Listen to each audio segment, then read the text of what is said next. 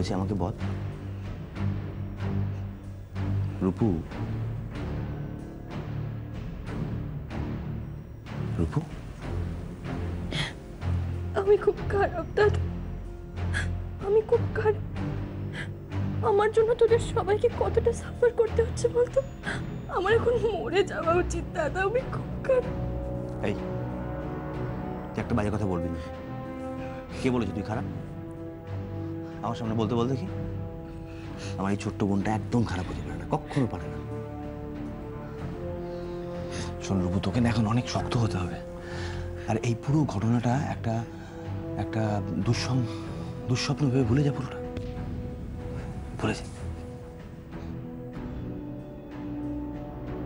ওরা আমাকে ভুলতে দিলে তবে তো দাদা। তুই জানিস না, তুই জানিস না। নীল আমার শাশুড়ি, ওরা কতটা খারাপ। ওরা না সব সময় সব সময় আমাকে টর্চার করতে চায়, দাদা, তুই বুঝতে পারবি না, ওরা কি তুই তো নীলকেই ভালোবাসিস। নীলের সঙ্গেই থাকতে চাস। তুই পারবি নীলকে ছাড়া থাকতে, বল। পারবি না। আমি জানি, আমি না এই রাস্তাতেও ভেবেছি। আমি না কোনো কিছুর পরোয়া করি না, কিন্তু তুই একবার মুখে বল। তোকে কষ্ট দেওয়ার শাস্তি আমি দুজনকে পাইয়ে দেবো। দাদা দাদা আর সেই জন্যই খারাপকে ভালো করার চেষ্টা করাটা সোজা। তাই তো? চিন্তা করিস আমি কথা বলব নীলের সঙ্গে তোর বৌদিও কথা বলবে। সব ঠিক হয়ে যাবে। আমি বৌদিকে বিশ্বাস করি না দাদা। রূপু? না দাদা আজকে আজকে আমার এই কন্ডিশনের জন্য শুধুমাত্র বৌদি দেয়। বৌদি না থাকলে আমাকে কখনো এতটা নিচে নামতেই হতো না। শুধুমাত্র বৌদির জন্য আজকে আমাকে এরকম একটা পজিশনে নামতে হয়েছে। না রে রূপু, শ্রেয়া এতটা খারাপ নয় কিন্তু। শ্রেয়া অ্যাকচুয়ালি তোর আমার থেকে অনেক বেশি অনেক বেশি দূরদর্শী। ও দেখতে পায় ভবিষ্যৎটা পুরোটা। আর সেই কারণেই বোধহয় এই ডিসিশনটা নিয়েছে। এটা রেজাল্ট এত ভয়ঙ্কর হয়ে যাবে বুঝতে পারেনি, তাই বোধহয় সময় সব কিছু ঠিক করে দেয় রে। ধৈর্য ধর। শান্ত হয়ে যা সব ঠিক হয়ে যাবে।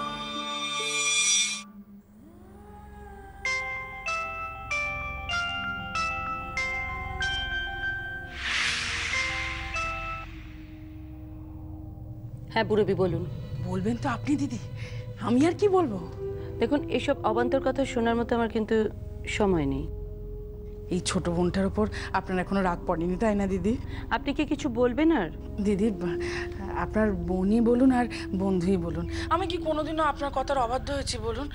আমি কি ইচ্ছে করে ওই ফাইলটা শুনুন। বাজে কথা শোনার মতো আমার সময় নেই আমি ফোনটা রাখছি। দিদি দিদি ফোনটা রাখবেন না লক্ষ্মীটি আমার কথাটা একটু শুনুন। এত অভিমান আমার ওপর আপনার হ্যাঁ?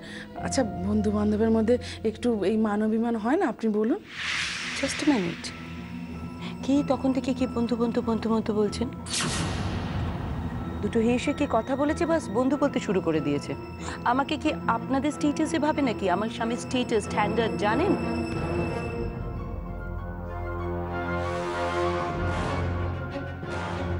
স্বামী টাকা পয়সা বড্ড অহংকার তোমার না? আমিও যদি এক বাপের বেটি হই না তাহলে তোমার তেজ আমি এনিওয়ে আপনি কি দরকারে ফোন করেছেন সেটা জাস্ট বলুন দয়া করে। দিদি বলছিলাম কি সাংঘাতিক একটা অস্ত্র পেয়েছি। অস্ত্র? হ্যাঁ। শ্রেয়া শ্রেয়া। শ্রেয়াকে মারার মোক্ষম অস্ত্র। My God. আবার আবার একটা ফ্লপ প্ল্যান। না গো দিদি না। আপনি বিশ্বাস করুন আমি মা কালীর দিব্যি বলছি। ওকে কিরম কিরম প্ল্যান? একটু শুনি। আপনি নীলকে জানেন তো? নীল? কে নীল? আরে বাবা নীল নীল। আমাদের রূপসার বর। হ্যাঁ তো কি হয়েছে? সে আমাদের নতুন বাজি। আপনি ওর সাথে একবার কথা বলেই দেখুন না। বুঝতে পারবেন জিনিস একটা। আমাদের চাহিদা মতো একটা তৈরি ছেলে। আমি একটা জিনিস বুঝতে পারছি না নীলকে দিয়ে আমাদের কাজ কি করে হবে? শ্রেয়া এখন ওর কথায় উঠছে আর বসছে উঠছে আর বসছে। শ্রেয়া? হ্যাঁ গো দিদি হ্যাঁ শ্রেয়া শ্রেয়া। ও দিদি কিছু বলছেন না যে? ওকে আমি নীলের সঙ্গে কথা বলছি কিন্তু আপনাকেও একটা কথা দিতে হবে। হ্যাঁ হ্যাঁ বলুন বলুন কি কথা বলুন? এখন আমার সময়ের একটা দাম আছে। আপনি মাথা থেকে নতুন নতুন একটা করে প্ল্যান বার করবেন আর তার পিছনে আমার সময় নষ্ট হবে। এটা কিন্তু আমি আর হতে দেব না। আমার সময় যদি নষ্ট হয় আপনার জন্য তাহলে আপনার জন্য আমার থেকে খারাপ কিন্তু কেউ হবে না। আপনাকে কিন্তু তার মূল্য দিতে হবে। এবারে আমার কথা না মিলিয়ে নেবেন। আর নীলের সঙ্গে কবে দেখা করবেন আমাকে একটু বলবেন কেমন? ওকে। তাহলে আমি রাখি দিদি।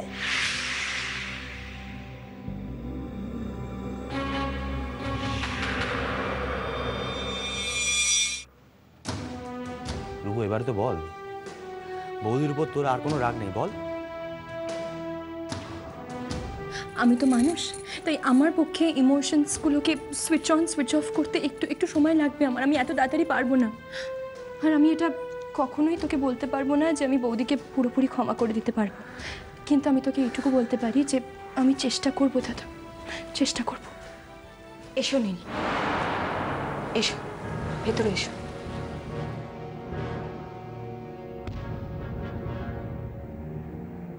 তোমরা কথা বলো আলোচনা করো, আমি বরং এই, না, শ্রেয়া, তুমি বরং থাকো।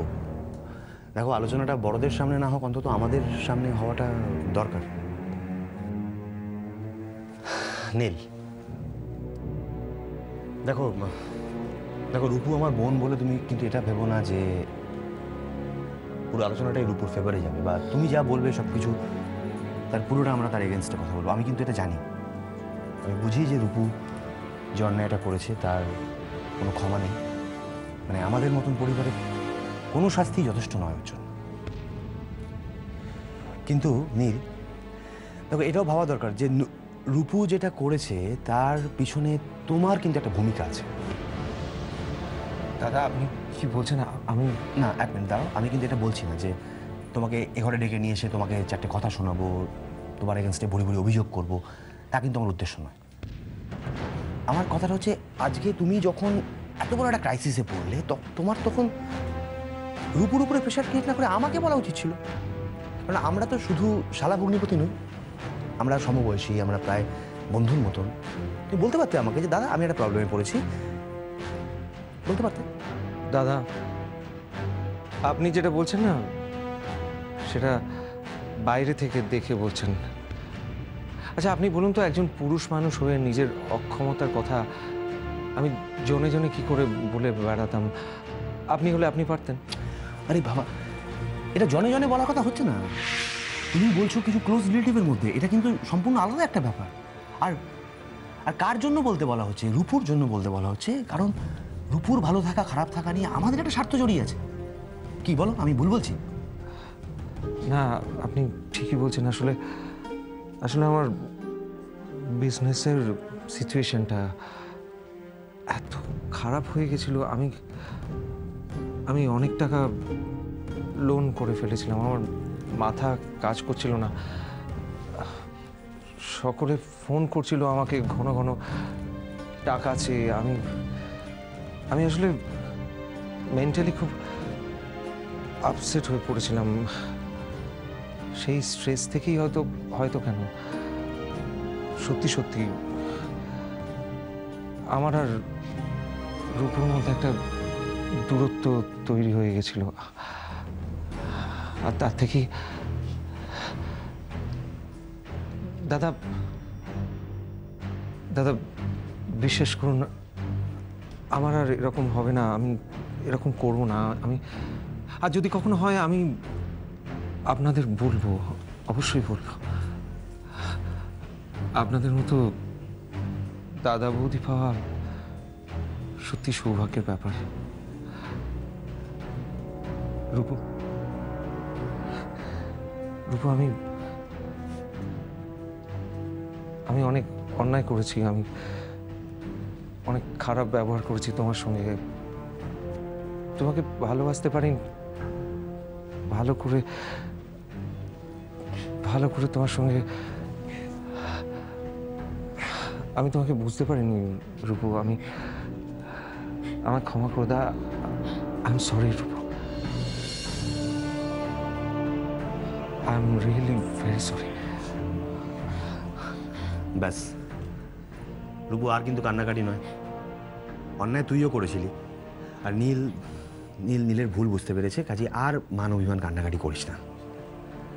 আসলে জীবনটা না অনেকটা বড় রে। এত অল্পে ভেঙে পড়লে কিন্তু হয় না। একটা সম্পর্ক ভাঙতে কতক্ষণ লাগে বল? দু সেকেন্ড কিন্তু ঘুরতে অনেক সময় লাগে। ঠিক আছে রূপম। ওকে আর বিরক্ত করো না। আমার মনে হয় ওদের দুজনকে একটু একা থাকতে দেওয়া উচিত। হ্যাঁ ঠিক বলেছ। নীল প্লিজ একটু মানিয়ে চলো। এটা রিকোয়েস্ট আমার চলো শ্রেয়া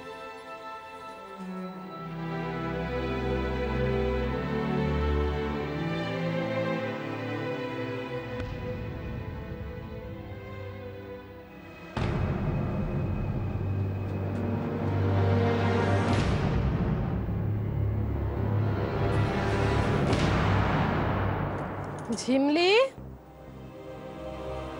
তুমি এখনও ঘুমোনি তুমি এখনও ঘুমোসনি কেন? আমার ঘুম আসছে না মা। সে বললে হবে হুম? নে শো।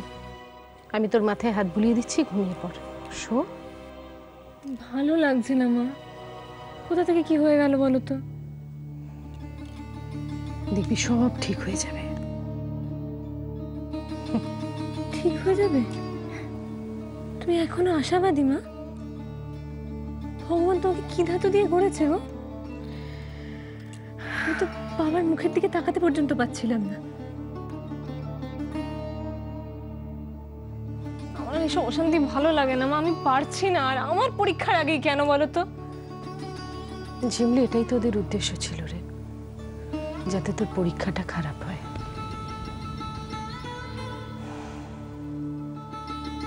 ভালো লাগছে না জানো? আমি না পরীক্ষাটা শেষ হয়ে যাক, আমি আমি হোস্টেলে চলে যাব। সেটাই ভালো।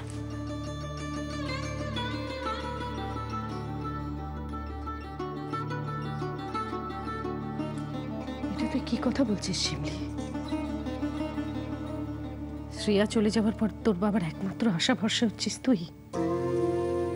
তুই যদি চলে যাস, মানুষটা কি নিয়ে বাঁচবে? আমি জানি না, আমি বুঝতে পারছি না গো আমি কি করব। ঠিক আছে, এখন শো। শো, আমি তোর মাথায় হাত বুলিয়ে দিচ্ছি।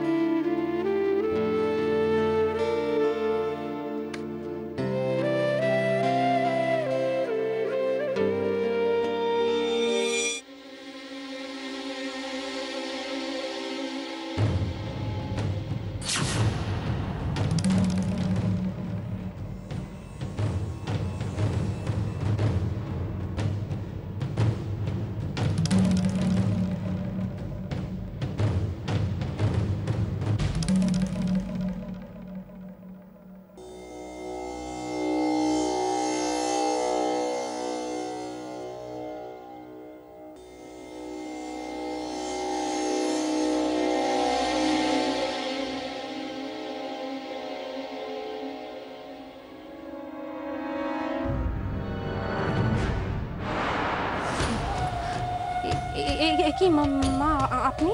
সে প্রশ্ন তো আমি তোমাকে করতে পারি। এত রাতে ঝিমলির ঘরে তুমি কি করছ? আমি মানে ওই ব্যাগের মধ্যে তুমি কি খুঁজছো?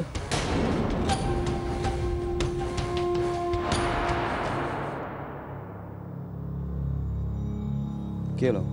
বললেন না তো? বলে না কি বলল নীল?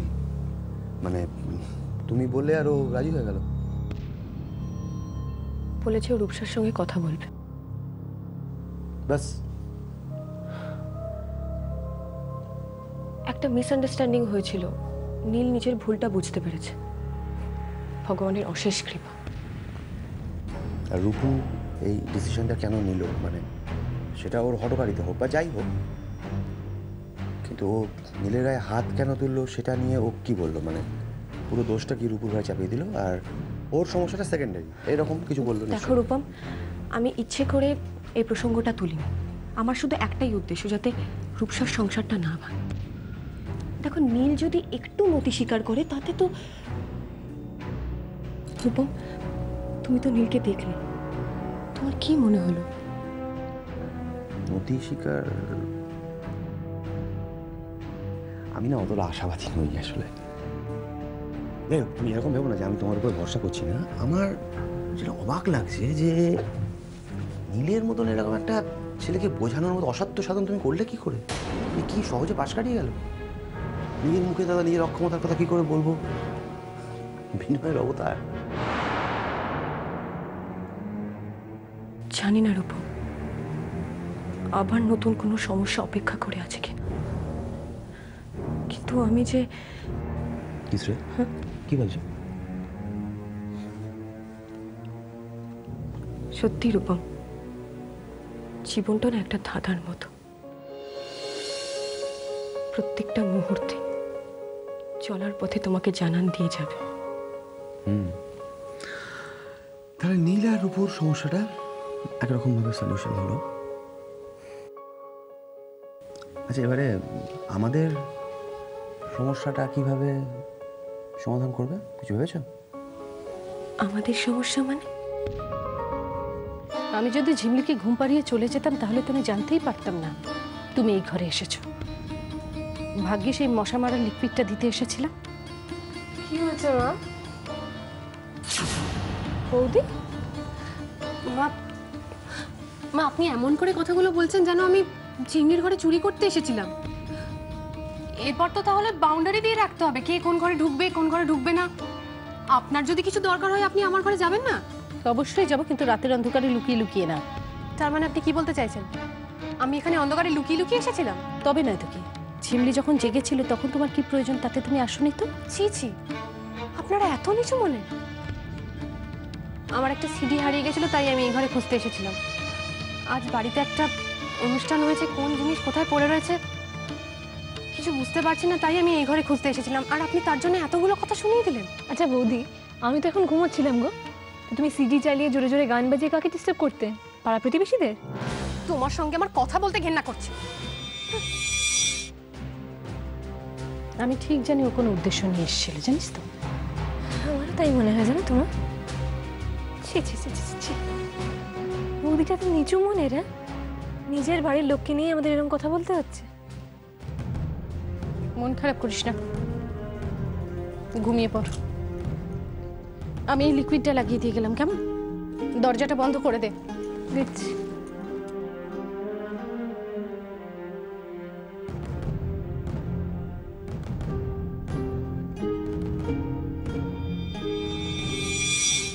রূপম আমি কিন্তু বুঝতে পারছি না। তুমি মার ভাবনাটাকে এতটা প্রশ্রয় কি করে দিচ্ছ? কেন? বাবাটা কি অন্যায়? এতে ন্যায় অন্যায় ঠিক বেঠিকের কথা আসছে না। এটা তো কোনো অঙ্ক নয় যে আমি দুই আর তিনে পাঁচ বলব তুমি চার বলবে বলে তুমি ভুল। দেখো সবার তো নিজস্ব একটা দৃষ্টিভঙ্গি আছে। দৃষ্টিভঙ্গি? অবভিয়াসলি মা নিজের ভাবনাটা আমাদের বলতেই পারে। কিন্তু এটা আমাদের ডিসাইড করতে হবে যে একটা ইস্যুর জন্য আমরা দুজনে মেন্টালি কতটা প্রিপেয়ার্ড